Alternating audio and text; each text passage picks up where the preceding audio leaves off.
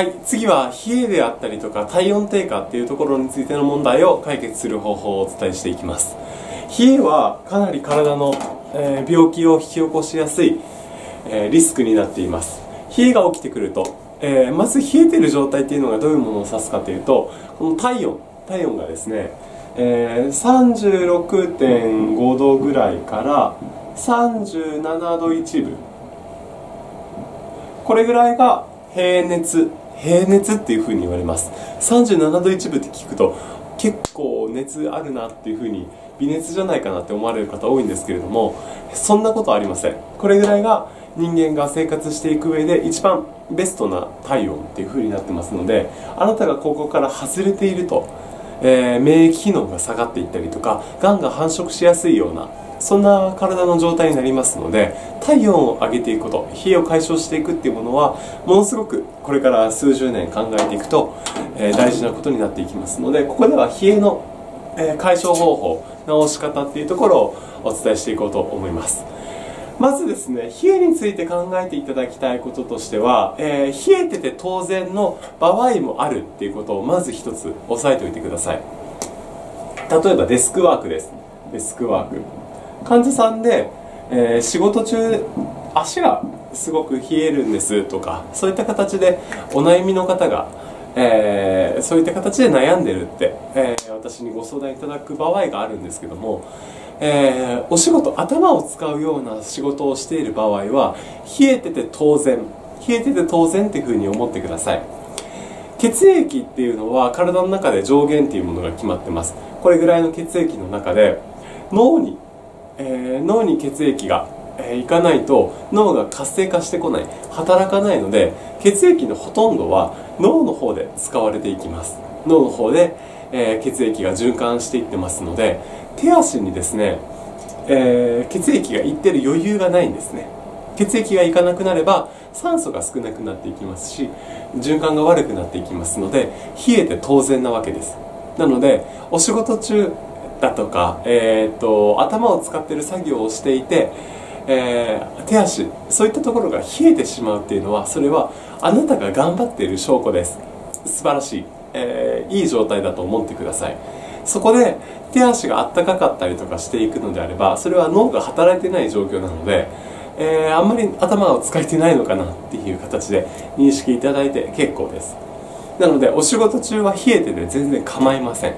ただえー、お家に戻ってきてですねお家に戻ってきてリラックスできた状態でも体の冷えが続いていくのであればそれは問題になりますからそれは直していきましょう解消していきましょうっていう形になっていきます。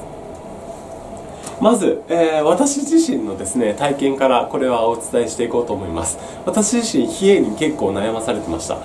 えー、帰ってきても寝る前でもあ手足が寒かったりしてなかなか寝つけなかったりそういった状況もあるので、えー、昔ですね、えー、まず私がやっていったこととしては水筒を買うっていうことです。水筒を買う。水筒を買ってえー、っと春でも夏でも秋でも冬でも私は左右をずっと持ち歩いてました。左右ですね。これがファーストステップでやっていったことです。まず左右を日頃から持ち歩いていくっていうような形を取っていきました。1ヶ月ぐらいかかりましたけどだんだんだんだんですね体温が、えー、高い状態。36度3分ぐらいになってきましたね。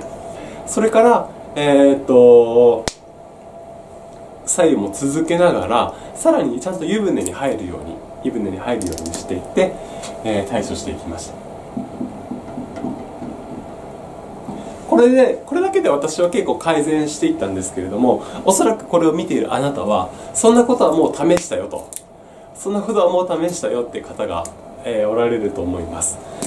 そんな方に、えー、またプラスやってほしいこととしてはタンパク質の量ですね。タンパク質。栄養素としてタンパク質不足が起きているんじゃないかっていうことが考えられていきます。タンパク質。最初でもお伝えしましたけどあなたの体重と同じグラム数のタンパク質が1日に必要になっていきます。果たしてタンパク質ちゃんと取れていますかっていうところが、えー、とっても大事になっていきます。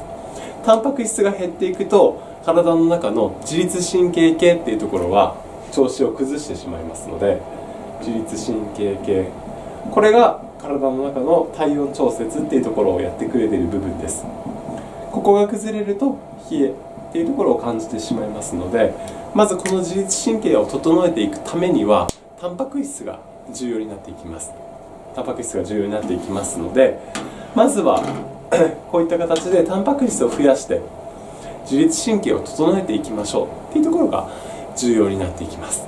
ちょっと補足として自律神経が崩れがちな方は回路をずっとしてる方です。冷えてるからといって、えー、腰だったりお腹だったりとかそういったところ手足だったりそういったところにずっと回路をつけ続けてしまっている方はそれは、えーと、この自律神経系っていうところを狂わしてしまいます。自律神経は体温を調節してくれるところなので回路をつけていくとずっと無理やりですね高い状態でキープされてしまいます。そうすると自律神経っていうところがもう俺の働きは用済みなんだなと。俺はもう用済みなんだなっていうことを、えー、勘違いをしてしまって体温を自分自身の力ではコントロールできなくなってしまいます。なのでずっと回路を手放せなかったりとか体が冷えた状態でずっと困り続けるってことになるので、えーと、体が冷えたからといって無理にですね温めすぎること。